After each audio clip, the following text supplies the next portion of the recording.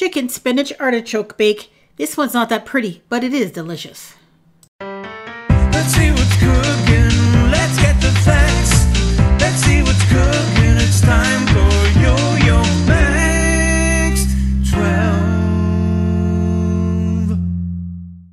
Hello everyone, starting off with a medium-sized saucepan, one and a half cups of milk, about a quarter teaspoon of crushed red pepper flakes, half a teaspoon of salt, half a teaspoon of black pepper, and two cloves of garlic that have been minced, and a half a cup of Parmesan cheese, and six ounces of cream cheese that's at room temperature.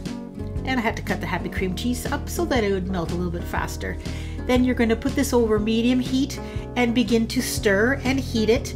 And as it begins to heat, you can switch to a whisk. It'll just be easier to break up those lumps of cream cheese.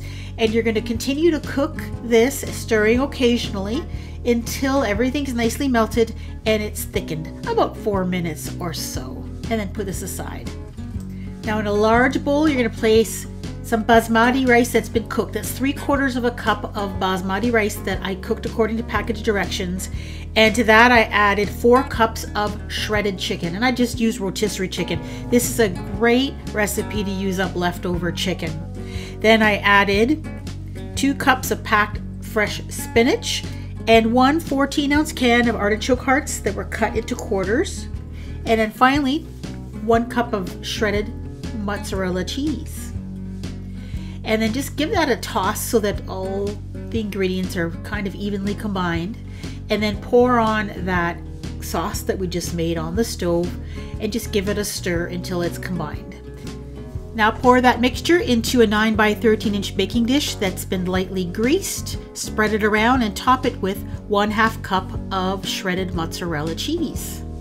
Then put it into a 350 degree oven for about 35-40 minutes until it's hot and bubbly and the cheese is melted. And what I did is I put mine under the broiler for a couple of minutes, watching carefully just to brown up the top a bit. I just thought it looked nicer.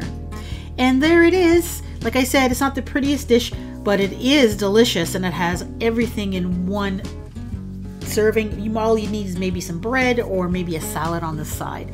It's delicious and you can change up the flavors by changing the different kinds of cheese if you'd like and different seasonings.